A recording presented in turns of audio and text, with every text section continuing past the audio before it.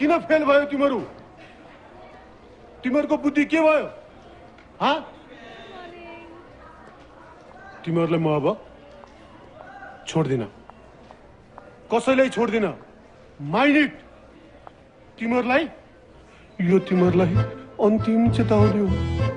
अब यसपछि पनि तिमीहरूले गल्ती दोहोऱ्याइरह्यो भने मैले तिमीहरूलाई बाध्य भएर कलेजबाट रेस्टिकेट गर्नुपर्छ सर